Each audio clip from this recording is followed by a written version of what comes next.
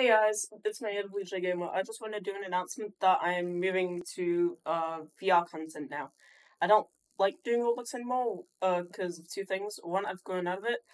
Two, um, yeah, that's pretty much it. I've just gotten older.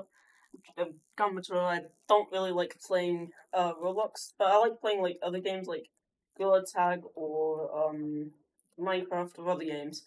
So what you're gonna be seeing from me now is like different games than Roblox. Because, like, you know, I've already said reasons. I don't really have a script for this video. But it's just like small announcement that I'm just going to start be doing more VR um and then development and stuff like that. So yeah.